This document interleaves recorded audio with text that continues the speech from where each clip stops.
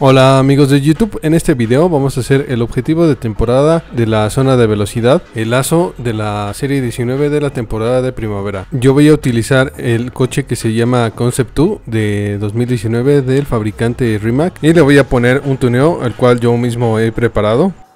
Y ahora nos dirigimos hacia donde está esta zona de velocidad y nos colocamos justo donde está mi cursor en el mapa y tenemos que tener la precaución de no chocar cuando entremos a la zona de velocidad. Tenemos que tener cuidado de no chocar a la izquierda y aquí ya aceleramos con todo. Y de esta manera hemos llegado ya al final de otro video. Yo me despido. Recuerda que yo soy Agus Estrella y nos vemos en el siguiente video. Hasta luego.